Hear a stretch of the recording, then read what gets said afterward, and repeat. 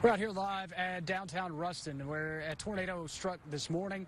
Uh, damage has continued to be rather extensive from what we've seen uh, through downtown, stretching northward, uh, north of town through the Louisiana Tech campus, as we mentioned earlier. Let's take a look at the new live storm tracker Doppler radar. Again, most of our wraparound rainfall is uh, already wrapping up across the region. Skies are clearing as well, and that should pave the way to a quiet night across the, the uh, ArkLaMiss uh, and really through the weekend, too.